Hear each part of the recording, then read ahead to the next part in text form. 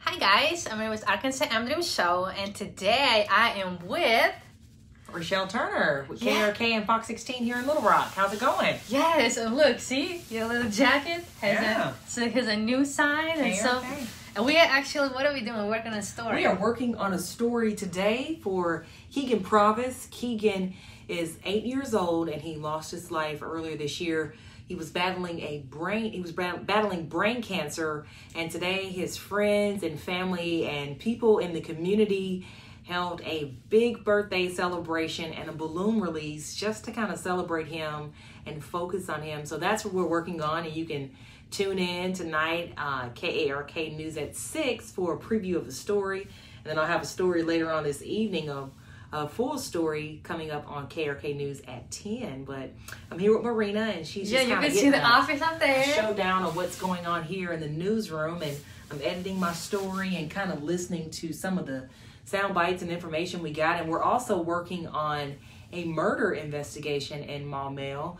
Um, Maumelle police are not releasing very much information, but they just tell us that they got a call about a 19 year old at an apartment complex, and when they got there, he was found dead.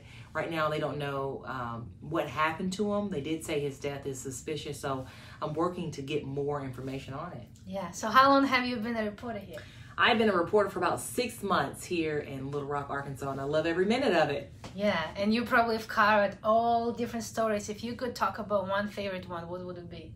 Oh my goodness, my favorite story would have to be, and I did this last week. A little girl in Conway, she's 12 years old, Okay. and she is going to Westminster. For those who don't know what Westminster is, Westminster is like the Super Bowl, but for dogs. It's Okay. the nation's top dog show, and you've probably seen it on TV before where the dogs they'll walk fancy, they'll stand fancy, they'll jump through different obstacle courses, and it's called Westminster, and they compete against other dogs and their breeds. And I talked to a little girl in Conway who has a little Manchester Terrier, and um, he's already ranked third in the country.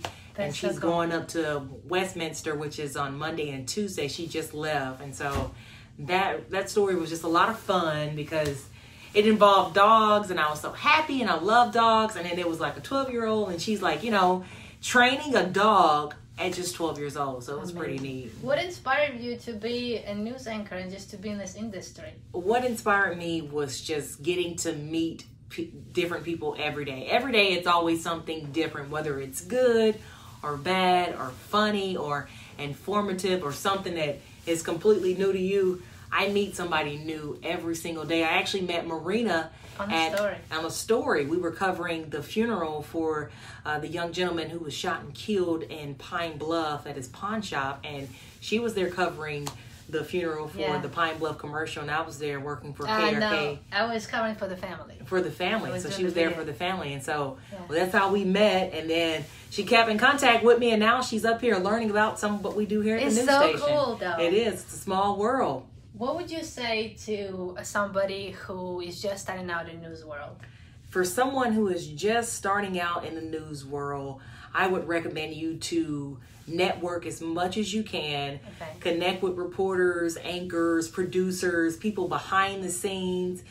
Connect with different people in each market. If you have a specific place you may want to go work, Okay. you know, connect with people in the community. Get to know people because that's how people are going to get to know you and that's how your name's going to get out there.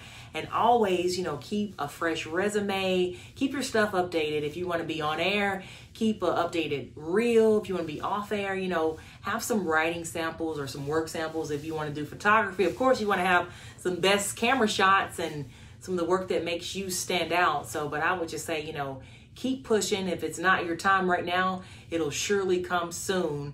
I didn't get my first on air position until two years once I graduated from college. So it was a long stretch for me, but once I got it, I was like, I finally got it. So I never Yay. gave up on my dream. So It's awesome. Well, Yeah. this is so inspiring. I want to wish you luck. Well, wish thank you best you. of luck as you grow. Thank you. Wish you the best of luck too. You're amazing. Thank you so much. All right. Bye, guys. Bye. Have a great day. You too.